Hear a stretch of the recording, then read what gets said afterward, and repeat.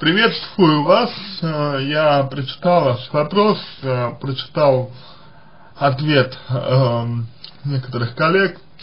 Вот. На ваш э, предыдущий вопрос я не отвечал, но там вы выбрали э, ответ эксперта лучшим, значит он вам понравился. Вот. Я придерживаюсь того мнения, что в рамках вот той формы взаимодействия с э, клиентом, которая предложена сайтом, э, я могу только ответить на э, ваш вопрос. И вы спрашиваете, ага, в чем проявляется позиция жертвы? И как это а, я не хочу нести ответственность, ведь я очень ответственный человек. Не могли бы вы на примерах, а, значит, а, показать, а, как это происходит? Смотрите, а, вы говорите, что в конфликтных ситуациях я не могу отстоять свое мнение. Чувство вины, страха я теряю. Значит, вот а, происходит конфликт. То есть два человека сталкиваются между собой по своим интересам. А один человек своими не отстаивает, потому что он уверен, что его мнение правильное, он готов э, не только отстаивать свое мнение, но и, и готов иметь дело с последствиями, э, с которым может привести отстаивание своего мнения, а именно, э, значит, прекращение или значительное ухудшение контактов с тем человеком, э, мнение которому он отстаивает, перед которым он отстаивает свое мнение, и человек понимает, что он э,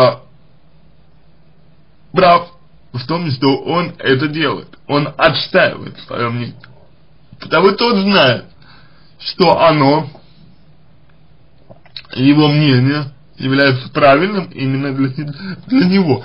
И если кто-то пытается э, с ним конфликтовать, то этот человек отстаивает свою точку зрения, правильную для него, но неправильную для субъекта.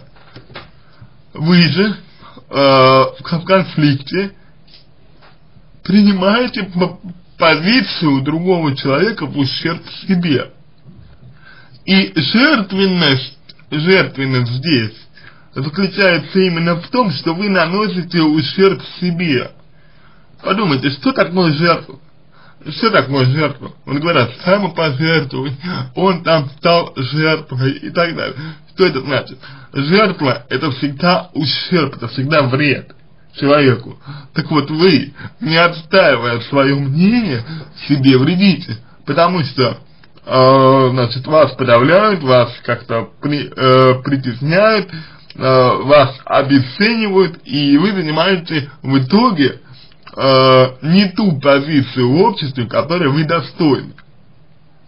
Это вот то, что касается жертвы. Далее. А, вы не пишете, как это я не хочу брать ответственность. Очень просто.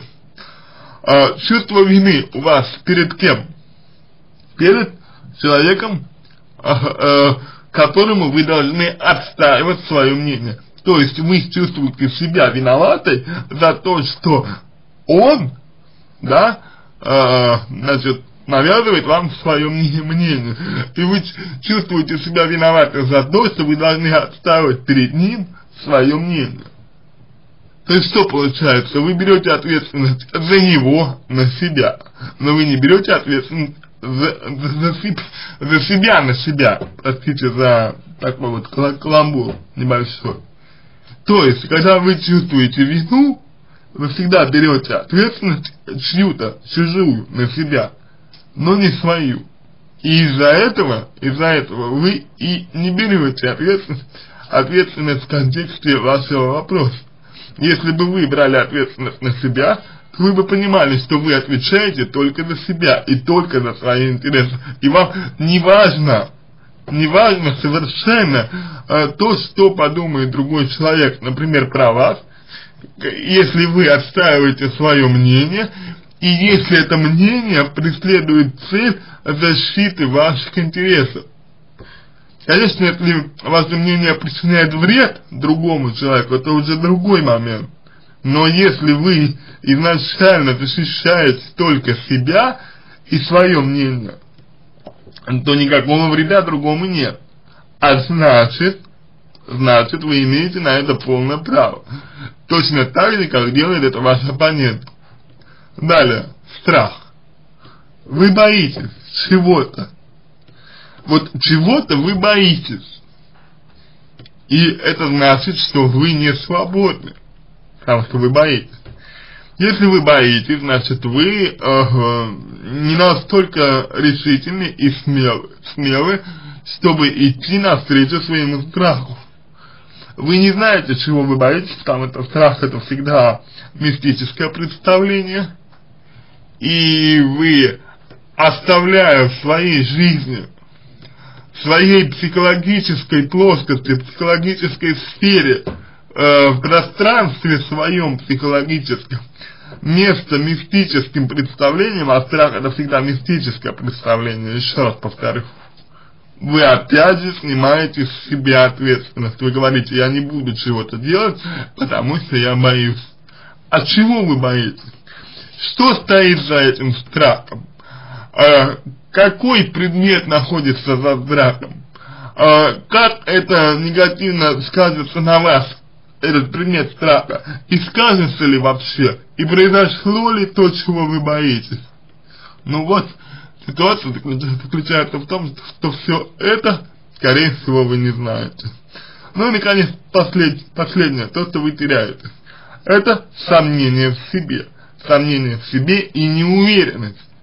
Вы не уверены в себе, вы э, сомневаетесь и из-за этого теряете. Соответственно, э, вместо того, чтобы работать над собой, над, над, над уверенностью в себе, дабы меньше сомневаться в себе, чтобы, может быть, лучше знать то, о чем вы говорите, по поводу чего у вас конфликты возникают, более аргументировать э, свое мнение, то есть, чтобы не сомневаться в нем, вы вместо этого говорите, что я, я теряю.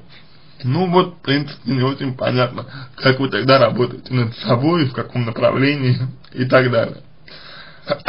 далее. А, значит, вам так удобно. А, вот вы тоже не понимаете, да, почему вам так удобно. Дело в том, что когда вы не отстаиваете свое мнение, вы потакаете чувство вины, потакаете своему страху и сомнениям в себе. И по сути дела вы проявляете, проявляете единомыслие с обществом, с оппонентом, тем самым не противоречите общественному мнению, ну в данном случае общественное мнение в лице этого оппонента. И тем самым как бы становитесь еще одним членом общества, которое мыслит так. И это вызывает у общества одобрение, для вас это означает спокойствие и принятие этого самого общества, и именно поэтому вам это удобно. Вот а, а, именно так и проявляется позиция жертвы, и именно так, именно так а, проявляет себя нежелание брать на себя ответственность. Соответственно, э, со страхами вашими нужно работать, с э, значит, чувством вины тоже нужно работать, потому что чувство вины это всегда навязанное обществом э, э, ощущение, эмоция, и она связана с тем, что вы берете ответственность уже не за себя, как я сказал, а за других. А это выгодно обществу, но не выгодно вам. Ну и с тем, что вы теряете с уверенностью в себе, тоже нужно работать. А, обязательно определите сначала те качества, те аспекты, те черты, в которых вы не уверены, и э, формируя задачи, при выполнении которых вы будете повышать свою уверенность в себе. Но опять же, это все работа, и вопрос в том, готовы ли вы к этой работе. На этом все, надеюсь, что помог вам. Если какие-то вопросы остались, пишите в личку, я вам помогу. Если вам понравился мой ответ, буду благодарен, если сделаете его лучшим. Желаю вам всего самого доброго и удачи.